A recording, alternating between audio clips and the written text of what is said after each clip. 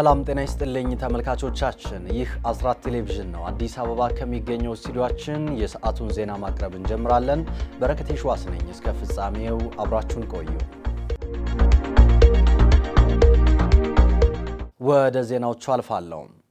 በኢትዮጵያ ተጨማሪ 30 ሰዎች የኮሮና ቫይረስ ተገኘባቸው። በዚህም በኢትዮጵያ የተጠቂዎች ቁጥር ወደ 731 ከፍ ብሏል። በተጨማሪም 14 ሰዎች ከቫይረሱ አገግመዋል። ከግንቦት 11 2012 ዓ.ም ጀምሮ ወደ ባህር ዳር ከተማ የመጣውና በአሁኑ ሰዓት በባህር ዳር ስድስተኛ ፖሊስ ጣቢያ በእስር ላይ የሚገኘው መቶ አለቃ ካፒቴን ማስረሻ ሰጤ ከሰኔ 15ቱ የአማራ ክልል ከፍተኛ አመራሮች ግድያ ጋር በተያያዘ ምርመራ ለማድረግ ፖሊስ አስር ቀን የጊዜ ቀጠሮ እንደጠየቀበት የመቶ አለቃ ማስረሻ ሰጤ ጠበቆች ለአስራት ተናግረዋል። ከመቶ አለቃ ማስረሻ ሰጤ ባገኘሁት መረጃ መሰረት አያያዙን በተመለከተ የተያዘው በግንቦት 10 ቀን 2012 ዓ ም ነው። ወደ ባህር ዳር የመጣው ግንቦት 11 2012 ዓ ም ነው። ከመጣ በኋላ ወደዚህ ወደ ስድስተኛ ፖሊስ ጣቢያ ባህር ዳር ከተማ ስድስተኛ ዋና ፖሊስ ጣቢያ ሄደ። ከዛ በኋላ እኛም መመካከር ስለነበረብን ወደ ፖሊስ ጣቢያው ሂደን አገኘ ነው ያሉትም ሁኔታዎች ተነጋገርነ ከመቶ አለቃ ማስረሻ ሰጤ ጋር። ከዛ በኋላ ፖሊስ ወደ ፍርድ ቤት አቀረበው። የቀረበበትም ግንቦት 13 ቀን 2012 ዓ ም ነው። ባህር ዳር ከተማ ወረዳ ፍርድ ቤት ቀረበ። ፖሊስ ያቀረበበት ምክንያትም የምርመራ የጊዜ ቀጠሮ ለመጠየቅ ነው። የተጠረጠረበትም ጉዳይ የሚያወቅ ነው ያኔ ነው። ፖሊስ ባቀረበው የጊዜ ቀጠሮ የምርመራ የማጣሪያ የጊዜ ቀጠሮ ላይ በሰኔ 15 2011 ዓ ም በባህር ዳር ከተማ በተፈጸመው የአመራሮች ግድያና የመፈንቅለ መንግስት ሙከራ አድርጋል በሚል ምርመራ ጀምር ያለው ስለሆነም ጊዜ ተሰጥቶኝ ምርመራ ላጣራ በሚል ለባህር ዳር ከተማ ወረዳ ፍርድ ቤት አቤቱታውን አቅርቦ በዚህም ላይ እኛ መልስ እንድንሰጥበት ተደረገ። ፖሊስ የጠየቀው የ14 ቀን የጊዜ ቀጠሮ ነበር። በመደበኝነት በጠየቀው አቤቱታ ላይ እኛ አስተያየት እንድንሰጥበት ተደርጓል። ፍርድ ቤቱም የግራ ቀኛችን ክርክር አይቶ ተገቢ ነው ያለውን የአስር ቀን የጊዜ ቀጠሮ ሰጥቷል። ለመዝገቡንም ለግንቦት 24 ቀን 2012 ዓ.ም ቀጥሯል።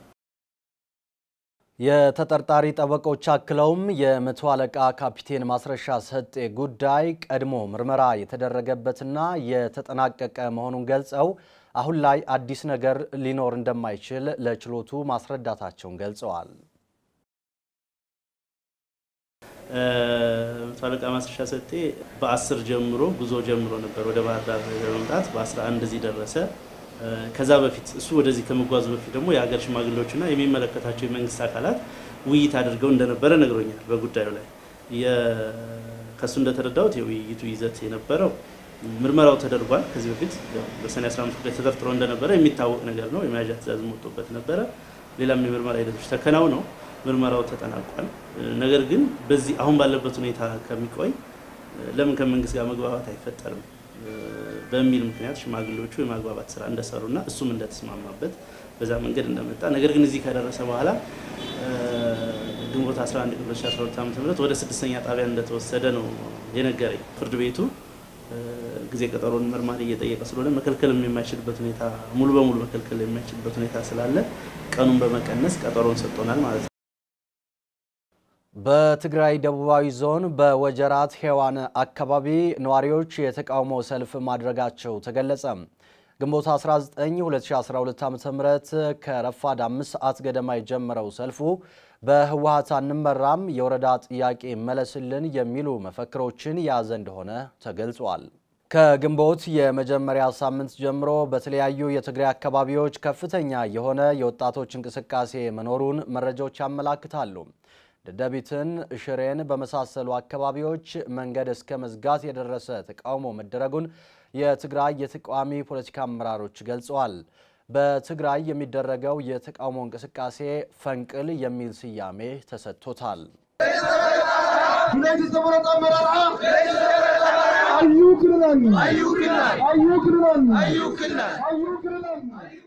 በጉራጌ ዞን በመስቃንና ማረቆ ወረዳዎች በተከሰተ የጸጥታ ችግር ሰዎች መፈናቀላቸውን የአካባቢው ነዋሪዎች ለአስራት ተናገሩ። የጸጥታ ችግሩ መነሻ በወረዳ ማካለል ሂደት ላይ የዘጠኝ ቀበሌዎችን የይገባኛል ጥያቄ በማንሳት መሆኑን የገለጹት ነዋሪዎቹ የግል አጀንዳ ያላቸው ሰዎች ተዋልዶና ተፋቅሮ የኖረውን ሕዝብ የጸጥታ ችግር በመፍጠር እያፈናቀሉት ነው ብለዋል። ዋናው የመጀመሪያው የጸቡ መነሻ መስከረም ሶስት ላይ መስከረም ሶስት ላይ ነው የተቀነሰ የተነሳው ሁለት ሺ አስራ አንድ ላይ ማለት ነው። ሮብ ቀን የተከሰተው የተከሰተው ጸብ ያኔ የወረዳ መዋቅር የለም። መጀመሪያም የነበሩት እነዚህ ዘጠኝ ቀበሌዎች መስቃን ወረዳ ላይ ነው። መስቃን ወረዳ ለራሱ የሚሆን አስተዳዳሪ መረጠ። ከመረጠ በኋላ ደስታውን በሰላማዊ ሰልፍ እየገለጸ ባለበት ሁኔታ እንሲኖ በምትባል ከተማ ላይ የማረቆ ተወላጅ የሆነውን እንዴት ትረብሹናላችሁ በራሳችን ከተማ አሉና ጸብ አነሱ ማለት ነው። የግለሰብ ጸብ ማለት ነው። ይሄ ከሆነ በኋላ በመንግስት መዋቅር አሁን የተሰጡ ክልሎች አሉ፣ የተሰጡ ወረዳዎች አሉ። ከአርባ አራት ወረዳ አንድ ወረዳ ለአስተዳደር እንዲመች ተብሎ ወረዳው ተከፈለ። መስቃን ወረዳ የሚባለው ማለት ነው። እሱ ሲከፈል ምስራቅ መስቃን ሆነ፣ ወረታች ያለው ወረዳ ማለት ነው። እዛ ያሉ ዘጠኝ ቀበሌዎችን ይገባኛል ብሎ ማረቆ ጥያቄውን ገልብጦ መጣና በይገባኛል ስም ዘጠኝ ቀበሌ ይገባኛል ብሎ እስከ ዛሬም ዘጠኝ ቀበሌ ይገባኛል እያለ ነው ጸቡ የሚነሳው። ሰዎቹ አይደሉም እየተጣሉ ያሉት የግል ፍጆታቸውን የሚያራምዱ ሰዎች አሉና ሰው ገለው የማይታሰሩ ቤት አቃጥለው ምንም የማይደረጉ ሰዎች አሉ። እዛ ከተማ ላይ ይመጣሉ። ሰዎች የሚሞቱት ያለው ማረቆ ወረዳ ላይ አይደለም፣ መስቃን ወረዳ ላይ ነው ሰዎች የሚሞቱት። ከማረቆ ወረዳ ዘፈን እየተዘፈነ ነው ማለት ሰብአዊ እንትንንም የሚነካ ዘፈን ሁሉ በሚዲያ አሳትመው ዘፍነው ነው የጦር መሳሪያ ጭነው መጥተው እዚህ መስቃን ወረዳ የምልህ ምስራቅ መስቃን አዲስ ወረዳ ላይ መጥተው ገለው ወቅተው አቃጥለው የሚሄዱት ማለት ነው።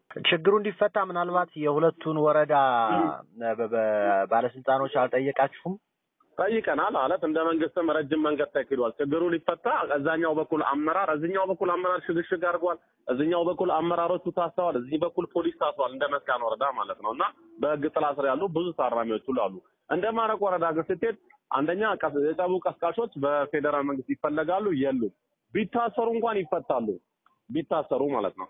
እዛው ማረቆ ወረዳ ላይ የሚኖሩ ቤቶች ላይ በራቸው ተነቅሎ ቤቱ ተቃጥሎ የተረፉት ቤቶች ላይ ደግሞ በማን አለብኝነት ገብተው እየኖሩበት ነው።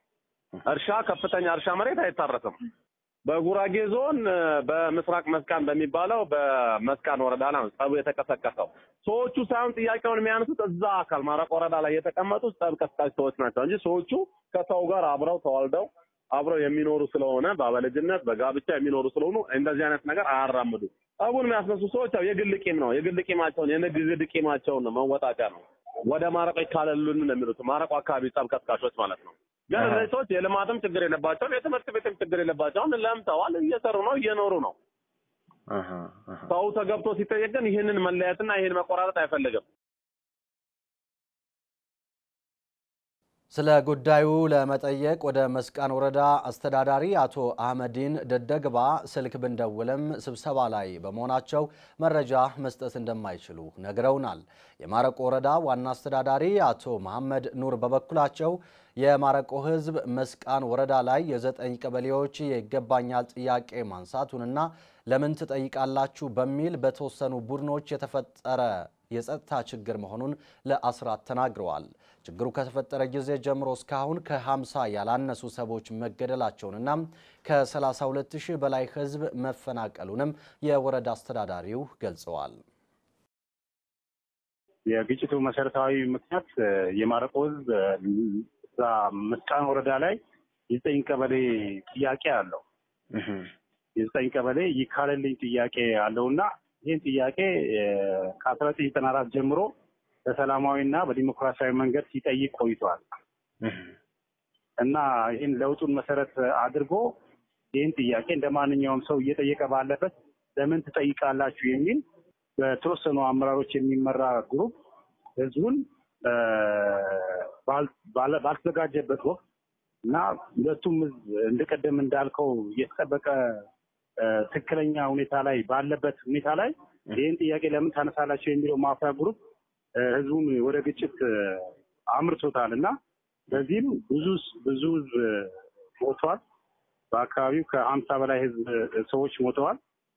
በብዙ ሺህ የሚቆጠር ንብረት በሚሊዮን የሚቆጠር ንብረት ወድሟል። በሁለቱም ወገን ከሰላሳ ሁለት ሺህ ህዝብ በላይ ተፈናቅሏል። ማረቆም ከአስራ ስድስት ሺህ ስምንት መቶ ስልሳ ስምንት በላይ ተፈናቅሏል። አሁንም እንደተፈናቀለ ነው ያለው። መልሶም ወደ አካባቢው አልተመለሰም።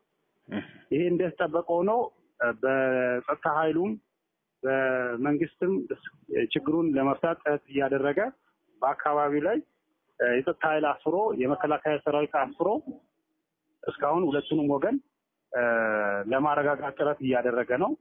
ጎን ለጎን ደግሞ የዚህ ችግር መፍትሄ ዘላቂ መፍትሄ እንዲያገኝ ስራ ለመስራት እንቅስቃሴ እያደረገ ቢሆንም ይህንን እንዲፈታ የማይፈልጉ አካላቶች በዚህ ደረጃ ለአሁንም ለሶስተኛ ጊዜ ችግሩ እንዲያገረሽ እና የሰው ሕይወት ንብረት እንዲወድም አስችለዋል ማለት ነው። ከዚህ አንጻር አሁን ሰሞኑ የተፈጠረው ችግር መነሻው መሰረታዊ መነሻው አንድ ግለሰብ የማርቆ ተወላጅ ነው። ቡታጀራ ላይ ተገደለ። እሱ ተገሎ ወደ ኢንሴኖ አካባቢ ተጣለ። የእሱን ሁኔታ አንድ ደረጃ ሳይደርስ አንድ ወጣት ቤተሰብ ጠይቆ ሊመለስ በሄደበት ኢንሴኖ የሚባል ከተማ ላይ ድጋሚ እሱ ተገደለ። ከዛ በኋላ ነው ችግሮቹ ያገረሹትና በዚህም ከአስራ ምናምን ከአስራ አምስት በላይ ሰው ሞቷል። በዚህ በዚህኛው በሶስተኛው ባገረሸው ግጭትም ማለት ነው። የተሳሰረ የተጋመደ ህዝብ ነው እና ዲሞክራሲያዊ ጥያቄ የጠየቀው ለዚህ በጠየቀው ጥያቄ ችግሩን መፍታት እንጂ ሰው መሞት፣ ንብረት መውደም አስፈላጊ አልነበረም። ይህን እንዲሆን የማይፈልጉ አካላቶች ዛሬም አሁንም በዚህ ሁኔታ ላይ ያሉ መሆኑን ነው እየገለጽኩ ያለው። አሁንም መንግስት ቆራጥ ሆኖ ወሳኝ ሆኖ ህዝቡን የሚመስል ውሳኔ መወሰን መቻላል። ህዝቡን የሚመስል ውሳኔ ከወሰነና በሁለቱም አካባቢ ያሉ ጸረ ሰላም ኃይሎች እንዲያርፉ የህግ የበላይነት እየተከበረ የሚሄድ ከሆነ ችግሩ ይፈታል፣ ዘላቂም solution ያመጣል አለ። መፍትሄ ሊሆን የሚችለው ህዝቦች የጠየቁት ጥያቄ ይሆናል አለ ይሄን ይሆናል አይሆንም የሚል መንግስታዊ ውሳኔ መወሰን ነው። በሰኔ 15ቱ የአማራ ክልል ከፍተኛ አመራሮች ግድያ ተጠርጥረው በእስር ላይ የሚገኙት ግለሰቦች ግንቦት 19 2012 ዓ.ም ረፋድ ላይ የአማራ ክልል ጠቅላይ ፍርድ ቤት ቀርበው ለሰኔ 12 ቀን 2012 ዓ.ም ቀጠሮ ተሰጥቷቸዋል። ዝርዝሩን ሐምዛ ያሲን አዘጋጅቶታል፣ እንደሚከተለው ይቀርበዋል። በሰኔ 15ቱ የአማራ ክልል ከፍተኛ አመራሮች ግድያ ጋር በተያያዘ ተጠርጥረው በባህር ዳር ሰባት ዓመት ማረሚያ ቤት በእስር ላይ የሚገኙት ተጠርጣሪዎች ዛሬ ግንቦት 19 2012 ዓ ም ከረፋዱ አራት ሰዓት ላይ የአማራ ክልል ጠቅላይ ፍርድ ቤት የቀረቡ ሲሆን በወቅታዊ የኮሮና ወረርሽኝ ምክንያት ከሶስት ተወካያቸውና ጠበቆቻቸው በላይ ሁሉንም ማቅረብ አልተቻለም። እንደሚታወቀው በተጠርጣሪዎች ላይ ክስ ከተመሰረተ በኋላ በክስ መዝገቡ የተካተቱ ስድስት ተጠርጣሪዎች ውስጥ አንደኛ፣ አስራ አራተኛ፣ አስራ አምስተኛ እና ሰላሳ ሁለተኛ ተጠርጣሪዎችን ፖሊስ ይዞ ማቅረብ ባለመቻሉ በጋዜጣ እንዲታወጅና አርባ አራተኛና ሃምሳ ሶስተኛ ተከሳሾችን ፖሊስ ኮሚሽን ማቅረብ ባለመቻሉ ማቅረብ ያልቻለበትን ምክንያትም ይዞ ባለመቅረቡ እንደገና ይዞ ለመጋቢት 21 እንዲያቀርብ ፍርድ ቤቱ ወስኖ የነበረ ቢሆንም መጋቢት 21 የተቀጠረው ችሎት በኮሮና ወረርሽኝ ምክንያት ፍርድ ቤቱ ዝግ ስለነበር ችሎቱ ሳይካሄድ ቀርቷል። በዚህም ምክንያት ፍርድ ቤቱ ለዛሬ ማለትም ግንቦት 19 2012 ዓ ም ቀጠሮ በያዘው መሰረት መጋቢት 21 ችሎቱ ባለመሰየሙ በጋዜጣ ጥሪ የተደረገላቸው ተጠርጣሪዎች ቀርበው የነበረ መሆናቸው ወይም ያልቀረቡ መሆናቸው የሚታወቅ ባለመሆኑ በድጋሚ በጋዜጣ ጥሪ እንዲደረግላቸውና ለሰኔ 22 2012 ዓ ም እንዲቀርቡ ውሳኔ አስተላልፏል። በዛሬው የፍርድ ቤት ውሎ በኮሮና ምክንያት ከሶስት ተጠርጣሪ ተወካዮች እና ከጠበቆቻቸው በላይ ማቅረብ ያልተቻለ ሲሆን ተጠርጣሪዎችም ለፍርድ ቤቱ አሁንም ለሰኔ 22 መቀጠሩ አግባብ አይደለም፣ እንዲሁ ነው የገባ ነው። ቤተሰቦቻችንና ጠበቆቻችን ጋር መጠያየቅ አልቻልንም። ቤተሰቦቻችን ከውጭ በጣም እየተቸገሩ ስለሆነ ፍርድ ቤቱ የተሻለ አማራጭ ተጠቅሞ ጉዳያችን በቶሎ ይታይልን ሲሉ የጠየቁ ሲሆን ሌላኛው የተጠርጣሪዎች ተወካይ ጉዳዩ ከወረዳ እስከ ጠቅላይ ፍርድ ቤት በሚታይበት ወቅት ረዥም ጊዜ ማለፉን ጠቅሰው በዚህ ጊዜ ሕግን ያልተከተለ መንገድ ደሞዛቸው መቋረጡ፣ ቤተሰቦቻቸው ለከፋ ችግር የተዳረጉ ሲሆን ጉዳያቸው ቀጠሮ ሳይበዛበት እንዲታይና ፍትህ እንዲሰጣቸው በኤግዚቢትነት የተያዙ ሀብል፣ ስልክ እና የባንክ ደብተሮቻቸው እንዲለቀቁላቸው ቢያንስ እነሱን ሽጠው መጠቀም እንደሚፈልጉ ፍርድ ቤቱን ጠይቀዋል። ፍርድ ቤቱ ወረርሽኙ ለወደፊቱም ችሎት ለማስኬድ እንቅፋት እንደሚሆን ጠቅሶ በመመካከር የተሻለ አማራጭ እንደሚያስቀምጥ በማስረጃነት የተያዙ በኤግዚቢትነት የተያዙ ንብረቶች ከፍርድ ውሳኔ በፊት መመለስ እንደማይቻል ነገር ግን በማስረጃነት ያልተያዙ ወይም ያልታገዱ ንብረቶች ከሆኑ መርማሪ ፖሊስ መመለስ እንደሚችል ገልጿል። ከዚህ በተጨማሪ ከቤተሰብ ጥየቃ ጋር በተያያዘ አዋጁ በግልጽ ያስቀመጠው በመሆኑ እንደማይፈቀድ ገልጾ ከጠበቆቻቸው ጋር መገናኘት ግን በአዋጁም ያልተከለከለ በመሆኑ ማረሚያ ቤቱ የሚጠያየቁበትን መንገድ እንዲያመቻች በመወሰን ችሎቱን ዘግቶታል። የኢትዮጵያ ኦርቶዶክስ ተዋሕዶ ቤተ ክርስቲያን ቅዱስ ሲኖዶስ ምዕመናን ከእንቅስቃሴ እንዲቆጠቡ አስጠነቀቀች። ባለፉት ሁለት ሳምንታት የኮሮና ወረርሽኝ ስርጭት እየጨመረ በመሆኑ እግዚአብሔር የሰጠንን አእምሮ በመጠቀም ሕግ ማክበር፣ የባለሙያዎችን ምክር መተግበርና የሃይማኖት አባቶችን ምክር በመስማት ይህንን አስቸጋሪ ወቅት ማለፍ እንደሚገባ የቅዱስ ሲኖዶስ ጸሐፊ አቡነ ዮሴፍ አሳስበዋል። ቤተ ክርስቲያን የሚከተላትን ምእመን ቀርቶ በመላው ዓለም ያለ ሕዝብ አንዱም ቢሆን በዚህ ወረርሽኝ ሕይወቱ እንዲያልፍ አትፈልግም ያሉት አቡነ ዮሴፍ ጸሎት የግድ አብያተ ክርስቲያን ተሂዶ መሆን እንደሌለበትና ሁሉም ምእመናን በየቤታቸው ሁነው በመጸለይና አምላካቸውን በመለመን ከዚህ መቅሰፍት መዳን እንዳለባቸው አክለዋል። መንግስት አሁን እያደረገ ባለው መልካም ስራ ላይ ይበልጥ በመስራትና አስፈላጊውን ቁጥጥር በማድረግ ይህን ጊዜ ማሳለፍ ተገቢ መሆኑን ከሪፖርተር ጋዜጣ ጋር በነበራቸው ቆይታ ገልጸዋል። ቅዱስ ሲኖዶስ አብያተ ክርስቲያናትን እንደዘጋና እንደከፈተ በማስመሰልና ሰበብ በማቅረብ አባቶች እርስ በርሳቸው እንዳይስማሙና ግጭት እንዲፈጠር የሚያደርጉ ልቦና እንዲሰጣቸው አሳስበው ምንም ይሁን ምን በጎ ነገር በማድረግ ይህንን ጊዜ ማለፍ ካልተቻለ ውጤቱ የከፋ እንደሚሆን አስጠንቅቀዋል። ከአፋር ጋር በሚዋሰነው የሰሜን ወሎ ዞን በግጦሽ መሬት ምክንያት ሲከሰት የነበረው ግጭት በአሁኑ ወቅት ዳግም መቀስቀሱን የአካባቢው ነዋሪዎች ለአስራት ተናገሩ። ግንቦት 17 2012 ዓ ም ከቀኑ 10 ሰዓት አካባቢ በግጦሽ ላይ ያሉ ከብቶችን የሚጠብቅ ሰው ከተገደለ በኋላ በአካባቢው ውጥረት ነግሷል ተብሏል። በሁለቱ ክልሎች አዋሳኝ ቦታዎች ላይ በሚገኙ የግጦሽ መሬትና በውሃ ምክንያት ከአራት ዓመት ወዲህ በተደጋጋሚ ግጭት እንደሚነሳም ነዋሪዎች ለአስራት ተናግረዋል። ዘገባው የባልደረባችን ትዝታ ወንድሙ ነው። ባለፈው ሳምንት በቆቦ ከተማ 04 ቀበሌ የተጠለሉ ተፈናቃዮች በኮሮና ምክንያት ከመጠለያ እንድንወጣ በመደረጉ ለችግር ተጋልጠናል ማለታቸውን መዘገባችን ይታወሳል። በወቅቱ የሚመለከተውን አካል ለማነጋገር ያደረግነው ጥረት አለመሳካቱንና ግብረ መልስ ስናገኝ እንደምናቀርብ በገለጽነው መሰረት የቆቦ ከተማ ከንቲባ ጽሕፈት ቤት በጉዳዩ ላይ ምላሽ ሰጥቶናል። ቀጥሎ ይቀርባል። እኛ እያደረግን ያለ ነው። ኮሮና እንግዲህ ዓለም አቀፍ ወረርሽኝ ነው። ኢትዮጵያ ላይ እያደረሰ ያለውን ጉዳት ታውቀዋለህ። እኛም ጋር ከአማራ ክልል ላይ እየተደረገ ያለው ነገር ታውቃለህ። በአብዛኛው እንግዲህ ከአዋጁም ጋር እነሱ ሰላም እንኳ ቢካሄድ ከአራት ሰዎች በአዋጁ ከተዘንድሮ ይታወቃል። እነዚህ ደግሞ አራት ቀበሌ ያሉ ተፈናቃዮች ብዙ ከመሆናቸው ጋር ተያይዞ የበለጠ ቫይረሱ ጋር ተጋላጭ ከመሆናቸው ጋር ተያይዞ ለዕለቱ ይህንን ቫይረስ ተከላከልን እስከምናጠናቀቅ ድረስና የሆነ እዛ ቦታ ላይ ችግር ከመፈጠር በፊት ህዝባችንን እናድን የሚል አቋም ስላለን ከተማ አስተዳደሩ። ስለዚህ እነዚህ ሰዎች የእኛ ዜጎች ናቸው። እነሱ በዚህ ምክንያት ለምሳሌ ይወጣሉ፣ ይገባሉ። ከተማ ዳር ስለሆነ ለሻይ ቡና ይወጣሉ። ማታም ላይ እየተዝናናሉ። ተመርቶ ከተማ ከተማ ወደ መኖሪያቸው ይገባሉ እና ይህ ቫይረስ እንዴት እንደሚመጣ የማይታወቅበት ትልቅ ቫይረስ ከመሆኑ ጋር ተያይዞ በዋናነት ከተማ አስተዳደራችን እነዚህ የተዘጋ ዜጎቻችን ስለሆኑ ከአንድ አዳራሽ ያን ያህል ማህበረሰብ ማሳደሩ እነሱም ይጎዳሉ፣ ከተማ አስተዳደር ይጎዳል። ስለዚህ ለዕለቱ ምንድነው ማድረግ ያለብን ነው በጊዜያዊነት ይህንን በሽታ ተከላከለን እስከምን ድረስ ወደ ከተማ ይግቡና ተከራይተውም ይሁን ከቤተሰብ ጋር ይኖሩ። ሲጀመር ይሄኛ ውሳኔ ህዝቦቹ ጋር ተወያይተን ነው። ምንድን ነው የምትሉት? እንዴት እናርጋችሁ? አሁን ይሄ የበሽታውን አስከፊ ከጤና ባለሙያ ጋር ሳይንሳዊ ትንታኔ በመስጠት አሳሳቢነቱን ካስረዳም በኋላ ይህ በሽታ ልክ ናችሁ፣ በኋላ ግን ካምፑን በዚሁ እንዳንቀር ከተማ ተከራይተን እንዳንኖር በሽታው ከተከላከልንና ከተጠናቀቀ ወይም በቃ ቫይረሱ ከጠፋ በኋላ ተመልሰን እዚህ ካምፕ ላይ እንድንኖር የሚል ጥያቄ ያነሱ። እግዚአብሔርም ዘርቶነ መንግስትም እና ጤና ባለሙያዎች የሚያደርጉትን ህግና መመሪያ ጠብቀን ይህን ነገር ከመከላከል ከቻል እናንተን የትም አንጠላችሁም። ተመርሳችሁ ካምፕ የምንኖርበት መንገድ እናመቻቻለን። ዋናው ዓላማችን እናንተ እንዲያስሞቱብን ነው የሚል የጋራ ተወያይተን ነው እነሱ ጋራ ተስማምተን ወደ ቤተሰብ ያላቸው ቆቦ ከተማ ላይ ወደ ቤተሰቦቻቸው እንዲጠጉ፣ ቤተሰብ የሌላቸው ደግሞ ተከራይተው እንዲኖሩ በዛን የተግባባ ነው። መጨረሻ ላይ አንዳንድ የኢኮኖሚ ችግር ያለባቸው ማህበረሰቦች ይኖራሉ።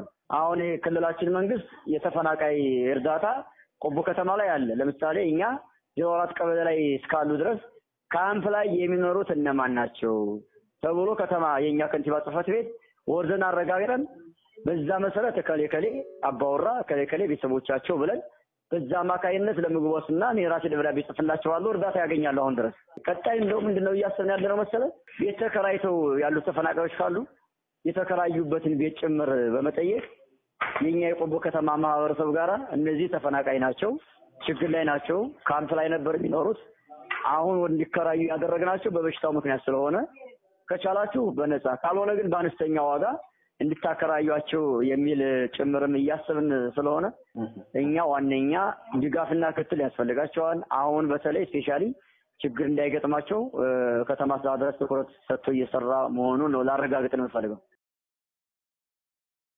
የወልቃይት ጠገዴ የአማራ ማንነት አስመላሽ ኮሚቴ ከግማሽ ሚሊየን ብር በላይ ወጪ የተደረገበት የፊኖ ዱቄት ድጋፍ አደረገ። የወልቃይት ጠገዴ የአማራ ማንነት አስመላሽ ኮሚቴ ከግማሽ ሚሊየን ብር በላይ ወጪ የተደረገበት ፊኖ ዱቄት ለአማራ ክልል ጤና ቢሮ ድጋፍ ማድረጉን የኮሚቴው ሰብሳቢ ኮሎኔል ደመቀ ዘውዱ ተናግረዋል። ሰብሳቢው እንደገለጹት በኮሮና ወረርሽኝ ምክንያት ኑሯቸው ላይ ጫና ለደረሰባቸው ሰዎችና ከሱዳን አካባቢ ተመልሰው በለይቶ ማቆያዎች ለሚገኙ ግለሰቦች ድጋፍ እንዲሆን በውጭ ሀገር ከሚኖሩ የአካባቢው ተወላጆችና ደጋፊዎች ከግማሽ ሚሊየን ብር በላይ በማሰባሰብ የፊኖ ዱቄት ገዝተው ነው ያስረከቡት። ኮሎኔል ደመቀ ዘውዱ ወረርሽኙ ከዚህ በባሰ ሁኔታ እንዳይስፋፋም ህብረተሰቡ የበኩሉን ጥንቃቄ ሊያደርግ እንደሚገባውና ሁሉም ሰው ከራሱ አልፎ ለወገኑ እንዲያስብ ሲሉ መልእክት አስተላልፈዋል። እንደ ሀገር ለወረርሽኙ ከፍተኛ የስጋት ቦታ የሆነው ከሱዳን ጋር ሰፊ ድንበር ያለው ምዕራብ ጎንደር ዞን እንደሆነ ጠቅሰው ለአካባቢው ከፍተኛ ድጋፍ እየተደረገ መሆኑን የገለጹት ደግሞ የአማራ ክልል ጤና ቢሮ ኃላፊ ዶክተር መልካሙ ሀብቴ ናቸው። ከወልቃይት ጠገዴ የአማራ ማንነት አስመላሽ ኮሚቴ ያገኙትን ድጋፍም ወደ ስፍራው እንደላኩ ተናግረዋል። ተመልካቾቻችን ከአስራት ቴሌቪዥን የሰዓቱ ዜና እንደቀጠለ ነው። አሁን ወደ ውጭ ዘገባዎች እናልፋለን። በአፍሪካ የኮሮና ቫይረስ ስርጭት እየጨመረ መምጣት፣ የኢኮኖሚ ማሽቆልቆል፣ የእርስ በርስ ግጭት፣ መፈናቀልና የሽምቅ ኃይሎች ጥቃት ከቫይረሱ ስርጭት ጋር ተያይዞ አህጉሪቷን ዋጋ እያስከፈላት ነው ተባለም። በሱዳን ከመሰረታዊ የምግብ ፍጆታ እቃዎች ጋር በተያያዘ የጨመረው የዋጋ መጠን አሁን ላይ በሀገሪቱ ወርሃዊ የዋጋ ግሽበቱ 99 በመቶ እንደሆነ ታውቋል። ገነት አስማማው ተጨማሪ አላት። በአፍሪካ የእርስ በርስ ግጭት፣ የሽምቅ ውጊያ፣ መፈናቀል፣ የኢኮኖሚ መዳሸቅ በተለይ ለበርካታ ዓመታት ሕዝባቸውን ረግጠው በመግዛትና ለሕዝባቸው ደንታቢስ ናቸው በመባል የሚታወቁት አፍሪካውያን መሪዎች ሕዝቦቻቸው የአገዛዙን ስርዓት በመቃወም ወደ ጎዳና በመውጣት ደረታቸውን ለጥይት ይሰጣሉ። የሕዝባዊ እምቢተኝነት ሲበረታም ደም አፋሳሽ በሆነ መልኩ አሊያም በለስ ከቀናም ግልበጣ ሲካሄድ ከስልጣን የሚወገዱት መሪዎች እጣፋንታቸው ዘብጥያ ይሆናል። አህጉሪቱ ያላትን ሀብት በመበዝበርና የህዝብን ሀብት ለራሳቸው ጥቅም በማዋል ሀብታቸውን ያደልባሉ። ከውጭ ሀገራት በእርዳታ የሚገኘውንም ሆነ በብድር ስም የሚመጣውን ዶላርና ዩሮም ለግል ጥቅም ሲያውሉ ይታያሉ የሚባሉት አፍሪካውያን መሪዎች መሪዎቹ የሚያጋብሱትና የሚያከማቹት ሀብት ተደምሮ የአህጉሪቱ ዜጎች በድህነት እንዲማቅቁ አድርጓቸዋል። አህጉሪቱ በኢኮኖሚ ራሷን ከመቻል ይልቅ ሁሌም ከበለጸጉት ሀገራት የብድርና ና የእርዳታ እጆችን እንድጠብቅም አድርጓታል። ከዚህም ባሻገር አሁንም በአህጉሪቱ የዜጎች መፈናቀል፣ ጥቃት መሰንዘርና ሽምቅ ውጊያዎች እንደቀጠሉ ናቸው። ለአብነትም በሊቢያ በጄኔራል ካሊፋ ሀፍታ የሚመራው ጦርና በተቃዋሚዎቻቸው የሚደረገው ጦርነት፣ በሱዳን አሁንም በርካታ ዜጎች በጎሳ ግጭት ምክንያት ህይወት የሚጠፋፉበት፣ በኒጀር ሽምቅ ተዋጊዎች ዜጎች ላይ ጥቃት የሚሰነዝሩበት ሁነት እንደቀጠለ ነው። የአህጉሪቱ ዜጎች ወትሮም በችግርና በሰቀቀን ውስጥ ቢገኙም በዘመነ ኮሮና ወቅት ደግሞ የከፋ ረሃብና ችግር እንደሚደርስ በተባበሩት መንግስታት ድርጅት የእርሻና የምግብ ፕሮግራም በተደጋጋሚ ጊዜ ያወጣው ሪፖርት አመላካች ነው። ከኮሮና ቫይረስ ጋር ተያይዞ በመሰረታዊ የምግብ ፍጆታ ሸቀጦች ላይ ከፍተኛ የዋጋ ንረት እየታየ መምጣቱም ተነግሯል። ለአብነትም በሱዳን የመሰረታዊ የምግብ ዋጋ በከፍተኛ ሁነት በመጨመሩ ምክንያት የዋጋ ግሽበቱ 99 በመቶ ያክል ደርሷል ተብሏል። የሱዳን ማዕከላዊ ስታስቲክስ እንዳስታወቀው በሀገሪቱ መሰረታዊ የምግብ እቃ ፍጆታ ዋጋዎች በመጨመራቸው በዚህ ወር የሀገሪቱ የዋጋ ግሽበት 99 በመቶ መድረሱን ባወጣው ሪፖርት አስታውቋል። ባለፈው ወር በሀገሪቱ የዋጋ ግሽበት 82 በመቶ እንደነበር ያስታወቀው ማዕከሉ አሁን ላይ ከኮሮና ቫይረስ ጋር ተያይዞ ከጊዜ ወደ ጊዜ የዋጋ ግሽበቱ በከፍተኛ ሁነት መጨመሩን አስታውቋል። ሁነቱንም አሳሳቢ መሆኑን ነው ማዕከሉ የገለጸው። በሀገሪቱ ከፖለቲካ አለመረጋጋት ጋር በተያያዘ በተለይ ፕሬዚዳንት ኡመር አልበሽርን ከስልጣን ለማውረድ የተደረገው ተቃውሞና በፖለቲካ አለመረጋጋት ምክንያት የሀገሪቱ ኢኮኖሚ በከፍተኛ ደረጃ ማሽቆልቆሉን ዘገባው አመላክቷል። እንደ ምጣኔ ሀብት ባለሙያዎች በአንድ ሀገር ውስጥ ከፍተኛ የሆነ የዋጋ ግሽበት ከተፈጠረም የውጭ ምንዛሬ እጥረት እንደሚያጋጥምና የሀገራት የብድር ጫና እንደሚያይል ይናገራሉ።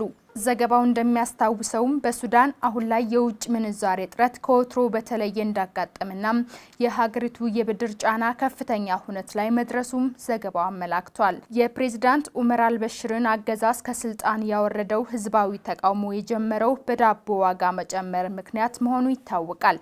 እንደ ምጣኔ ሀብት ባለሙያዎች አስተያየት ደግሞ በሀገሪቱ የዋጋ ንረቱ በዚሁ ከቀጠለም በተለይ ደግሞ የኮሮና ቫይረስ ስርጭትም በሀገሪቱ በከፍተኛ ፍጥነት መጨመር መጨመሩን ተከትሎ ማህበረሰባዊ ቀውስ ከማስከተሉም ባሻገር የሀገሪቱን ኢኮኖሚ ክፉኛ እንደሚጎዳውና ዜጎች በኢኮኖሚያዊ ቀውስ ክፉኛ እንደሚጎዱ ትንቢያቸውን ያስቀምጣሉ።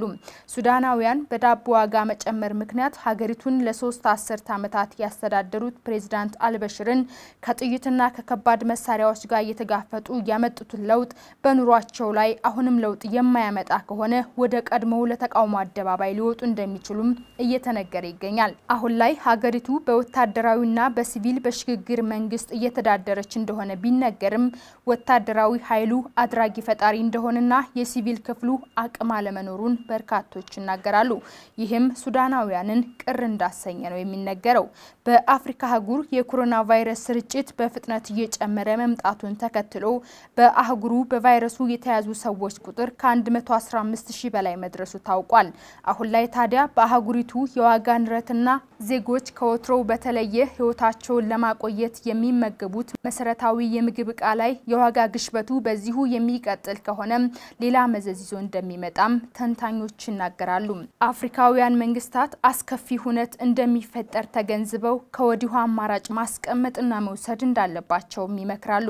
በሌላ በኩል ከአፍሪካ ሀገራት በኮሮና ቫይረስ ስርጭት በመጀመሪያ ተርታ ላይ የምትገኘው ደቡብ አፍሪካ ከሳምንት በኋላ የእምነት ቦታዎችን ክፍት ልታደርግ መሆኑ ተሰምቷል። የኮሮና ቫይረስ ስርጭትን ለመከላከል የተለያዩ እገዳዎችን አውጥታ የነበረችው ደቡብ አፍሪካ በፈረንጆቹ ሰኔ ወር መግቢያ ላይ ሁሉም የእምነት ቦታዎች ክፍት እንደሚሆኑ የሀገሪቱ ፕሬዚዳንት ራማፖሳ አስታውቀዋል። ታዲያ በእምነት ቦታዎች ላይ ተጥሎ የነበረው እገዳ እንዲከፈት ሲደረግ በእምነት ቦታዎች ውስጥ የሚገኙ ሰዎች ብዛት ከ50 ሰዎች መብለጥ እንደሌለበት ነው ፕሬዚዳንት ራማፖሳ ያስታወቁት። በአፍሪካ አህጉር ግዙፍ የኢንዱስትሪ ፋብሪካዎች የሚገኙባት ደቡብ አፍሪካም የኮሮና ቫይረስ ስርጭትን ለመከላከል የተለያዩ ገደቦችን በማውጣት ከፈረንጆቹ መጋቢት ወር ጀምራ መዝጋቷ ይታወሳል።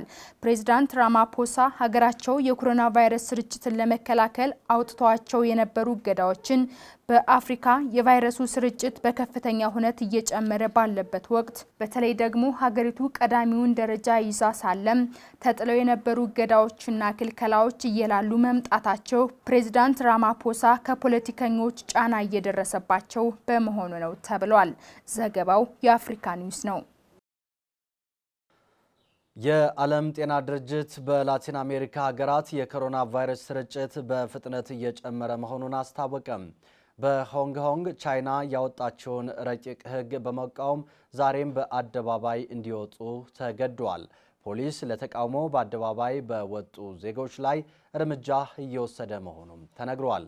አሜሪካ ፖሊስ በሆንግ ኮንግ ዜጎች ላይ እየወሰደ ያለውን እርምጃ አውግዛለች። አሜሪካና ቻይናም በኮሮና መነታረክ መለስ ብለው አሁን ደግሞ በሆንግ ኮንግ ጉዳይ ፍጥጫቸውን ቀጥለዋል። የዓለም ጤና ድርጅትም በርካታ ዜጎች ወደ አደባባይ ለተቃውሞ በሚወጡበት ወቅት የኮሮና ቫይረስ ስርጭት ሊጨምር ይችላል በሚል ስጋቱን እየገለጸ ይገኛል። ገነት አስማማው ተጨማሪ አላት። የዓለም የጤና ድርጅት በላቲን አሜሪካ ሀገራት የኮሮና ቫይረስ ስርጭት በፍጥነት እየጨመረ መምጣቱን አስታውቋል። ባለፈው ሳምንት ብራዚል የኮሮና ቫይረስ ከተከሰተ ወዲህ በሰባት ቀናት ውስጥ በየቀኑ የሚያዙ የዜጎቿ ቁጥር ሪከርድ መስበሩ ይታወሳል። አሁን ላይ በብራዚል ፔሩ፣ ቺሊ፣ ኤልሳልቫዶር፣ ጓቲማላ፣ ኒካራጓ እና ሌሎች ሀገሮች የኮሮና ቫይረስ ስርጭት በከፍተኛ ፍጥነት እየተሰራጨባቸው የሚገኙ ሀገራት እንደሆኑ የዓለም የጤና ድርጅት አስታውቋል። ድርጅቱ ለሀገራቱ ባለስልጣናት ማስጠንቀቂያ እየሰጠም እንደሚገኝ አስታውቋል። በሌላ ዜና ሆንግ ኮንጋውያን በዘመነ ኮሮና ወቅት ለተቃውሞ ወደ አደባባይ ከመውጣት አልተቆጠቡም። ፖሊስም ለተቃውሞ ወደ አደባባይ የወጡትን ዜጎች አስለቃሽ ጭስ በመጠቀም ተቃዋሚዎቹን ለመበተን ሞክረዋል። ቻይና ባለፈው ዓመት አንድ ሆንግ ኮንጋውያን ቻይና ውስጥ የሰው ሕይወት በማጥፋቱ ወደ ሀገሩ ሆንግ ኮንግ በመሄድ መደበቁን ተከትሎ አዲስ ሕግ ማውጣቷ ይታወሳል። በዚህም ሆንግ ኮንጋውያን ሲያጠፉ ለቻይና ተላልፈው እንዲሰጡ የሚል ሕግ በማውጣቷ ሆንግ ኮንጋውያን አስቆጥቶ ለተቃውሞ አደባባይ ማስወጣቱም ይታወሳል። በዚህም የሆንግ ኮንግ አስተዳዳሪዋ ሕጉ ተፈጻሚ እንደማይሆንና ዜጎች ለተቃውሞ ከወጡበት አደባባይ ወደ ቤታቸው እንዲመለሱ አድርገው ነበር። አሁን ላይ ቻይና ቢከፋኝ ብመለስ አይነት አዲስ ህግ በሆንግ ኮንጋውያን ላይ ማውጣቷን ተከትሎ አሁንም በኮሮና ወቅት ቻይና ያወጣችውን ህግ በመቃወም ጭንብላቸውን በማጥለቅ በርካታ ሆንግ ኮንጋውያን ለተቃውሞ አደባባይ ወጥተዋል። የዓለም የጤና ድርጅት በበኩሉ የኮሮና ቫይረስ ስርጭት በሆንግ ኮንግ ሊጨምር እንደሚችል ስጋቱን እየገለጸ ይገኛል። አሜሪካ፣ አውስትራሊያ፣ እንግሊዝና ካናዳ ቻይና አዲስ ህግ ብላ ያወጣችውን ህግ ተቃውመውታል። ከቻይና ግዛቶች በዓለም ላይ በርካታና ግዙፍ የፋይናንስ ተቋማት የሚንቀሳቀሱባትና የሚገኙባት ሆንግ ኮንግ አሁን ላይ ባንኮች፣ ሞሎችና የገበያ ሱቆች ባለፉት ቀናት ጀምሮ ዝግ እንደሆኑ ታውቋል። የቻይናና የአሜሪካ ሽኩቻ ከኮሮና ቫይረስ መለስ ብሎ አሁን ደግሞ በሆንግ ኮንግ ጉዳይ ሆኗል። በውስጥ ችግሬ ለምን ትገቢብኛለሽ የምትለው ቤጂንግ፣ ዋሽንግተን በበኩሏ ደግሞ ለዜጎች ሰብአዊና ዲሞክራሲያዊ መብቶች ይቆረቆራለሁ አሁንም በሆንግ ኮንጋውያን ላይ የምትፈጽሚው በደል የዜጎችን መሰረታዊ መብቶች የሚጥስ ነው እያለቻት ትገኛለች። የአሜሪካ ቻይና የንግድ ምክር ቤት ዩኤስሲቢሲ ሁሉም መሪዎች ውጥረትን በማስቀረት ኢኮኖሚያዊ ማገገምንና የሕግ የበላይነትን እንዲጠብቁና እንዲያሳድጉ አሳስቦ አንድ ሀገር ሁለት ስርዓት የሚለውን መርህ እንዲጠብቁና መሪዎቹ አስፈላጊውን እርምጃ እንዲወስዱ አሳስቧል። የቻይና ባለስልጣናትና የሆንግ ኮንግ ባለስልጣናት ሕጉ ለከተማይቱ በራስ የመተዳደር መብት ምንም ስጋት እንደሌለውና አዲሱ የጸጥታ ሕግም በትኩረት እንደሚሰሩበት ተናግረዋል። የዩናይትድ ስቴትስ ፕሬዚዳንት ዶናልድ ትራምፕ በበኩላቸው አሜሪካ ለሆንግ ኮንግ የታቀደው የደህንነት ሕግን በሚመለከት ጠንካራ ምላሽ እንደምትሰጥ አስታውቀዋል። ፖሊስ እስካሁን ለተቃውሞ ከወጡ ሰልፈኞች 14 ዜጎች ማሰሩን አስታውቋል። ዘገባው የአልጀዚራና ሮይተርስ ነው። በመጨረሻም በሚኒሶታ በነጭ ፖሊስ ታንቆ የተገደለው ጥቁር አሜሪካዊ ጉዳይ ቁጣን ቀሰቀሰ። የአሜሪካ የምርመራ ቡድን ኤፍቢአይ በነጭ ፖሊስ የተገደለውን ጥቁር አሜሪካዊ ጉዳይ መመርመር ጀምሯል ተብሏል። ክስተቱ ባሳለፍነው ሰኞ የተፈጸመ ሲሆን አንድ ነጭ የፖሊስ መኮንን ጥቁር አሜሪካዊውን በእግሩ ጉልበት አንገቱ ላይ ቆሞ ሲያሰቃየው ከቆየ በኋላ መተንፈስ አቅቶት ሲዝለፈለፍ ያሳያል። ከሰሞኑ በማህበራዊ ሚዲያ በአስደንጋጭ ፍጥነት በተዘዋወረው ምስል ላይ ነጭ ፖሊስ የዚህን ጥቁር አሜሪካዊ አንገት በጉልበቱ ተጭኖት እያለ በጉልህ የሚታይ ሲሆን ሟቹ በበኩሉ መተንፈስ አልቻልኩም፣ እባክህን አትግደለኝ እያለ ሲማጸነው ይሰማል። ሟቹ የ40 ዓመት ጎልማሳ ጥቁር አሜሪካዊ ጆርጅ ፍሎይድ ይባላል። ሆኖም ሟቹ በፎርጅድ ምርት ተግባር ላይ እንደተሰማራ ጥቆማ ደርሶት ፖሊስ በቁጥጥር ስር ሊያውለው እንደመጣ ተጠቅሷል። ይህ ዘግናኝ ክስተት ከዓመታት በፊት በተመሳሳይ ቁጣን የቀሰቀሰውና በነጭ ፖሊስ ጭካኔ የሞተውን ኤሪክ ጋርነርን ያስታወሰ ሆኗል። ኤሪክ በወቅቱ በፖሊስ አንገቱ ተቆልፎ እባካችሁ መተንፈስ አልቻልኩም እያለ በተመሳሳይ ሁኔታ ነበር የሞተው ሲል ቢቢሲ ዘግቧል። ተመልካቾቻችን ከአማራ ሳተላይት ራዲዮና ቴሌቪዥን ወደ እናንተ ሲደርስ የቆየው የሰዓቱ ዜና ይህንን ይመስል ነበር። በረከት ሺዋስ ዜናውን በማቅረብ ቆይታ አድርጌያለሁ። በያላችሁበት ከቀሪ ዝግጅቶቻችን ጋር መልካም ጊዜ